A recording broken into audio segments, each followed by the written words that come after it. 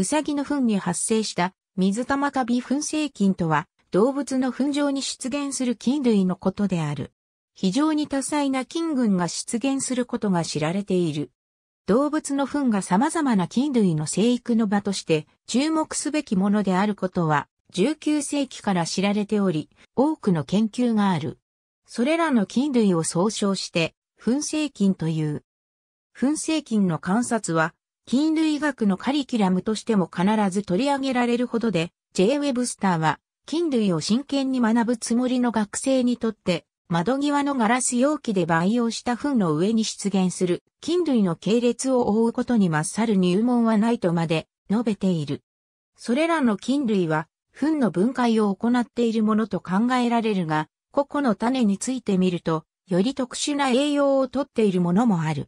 糞性菌には、それ以外の環境にも見られるものも多いが、ほとんど糞にのみ見られるものもある。それらの中には特殊な適応を示すものもある。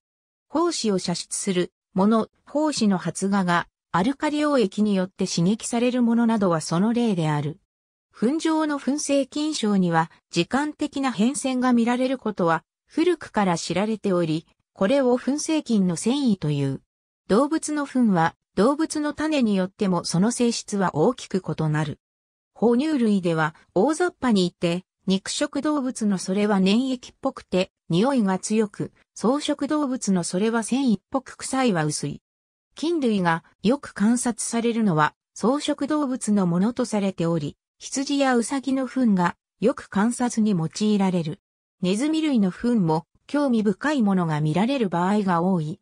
しかしそうでない動物でも様々なものが発見されている。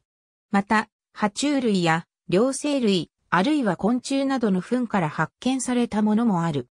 鳥類の糞は一般には菌類の出現が少ないとされる。ここでは主に草食動物の糞について説明する。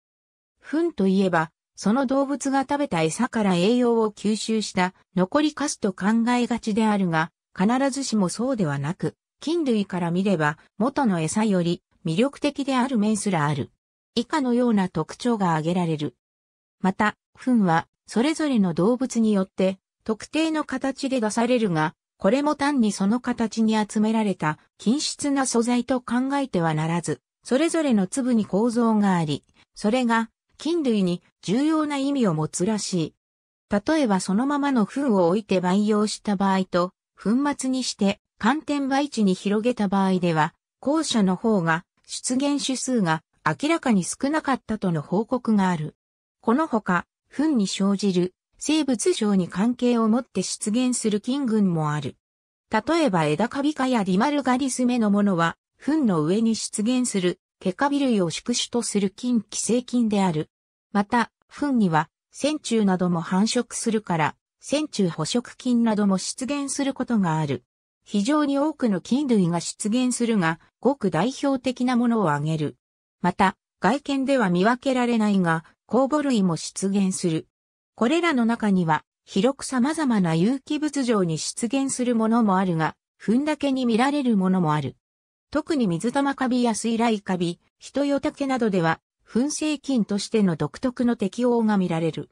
これらの菌は、糞を出す動物の消化管を通して糞に胞子が行き着くことができる。糞状で成長した菌は胞子を出し、その胞子は周辺の植物の葉に付着する。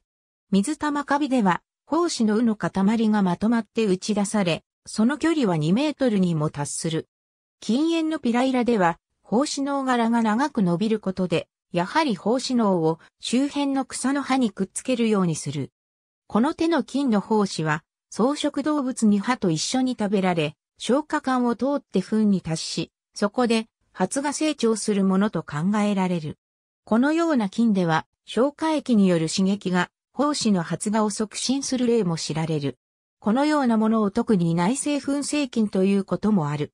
これに対してよく糞に出現するが、このような特徴を持たないものは、胞子が他の方法で糞から糞へと移動するものと考えられ、外生糞性菌とも言う。糞の上に生じる菌類症には、時間的な一定の変化があることが知られており、これを糞性菌の繊維と呼んでいる。一般的な形としては、以下のようなものである。これらの出現の時間的な差は以下のような原因によると考えられている。糞の成分の変化、水溶性の栄養分を吸収して成長するケカビ類は初期に出現し、それを消費し尽くすと衰退する。より長期的には、糞は次第に分解して土壌に同化すると考えられる。胞子形成にかかる時間の差、ケカビ類、不完全菌類は個実体を作らないため素早くその姿が見つけられるようになる。これに対して、死脳菌、短子菌はその姿が見られるようになるまでに、それなりの時間がかかる。多くの菌で、培地上での胞子形成までの期間と粉状での出現までの期間がほぼ一致することが知られている。菌類間の相互関係、例えばヒトヨタケは多感作用を持ち、これが繁殖すると多種の菌が減衰する。ありがとうございます。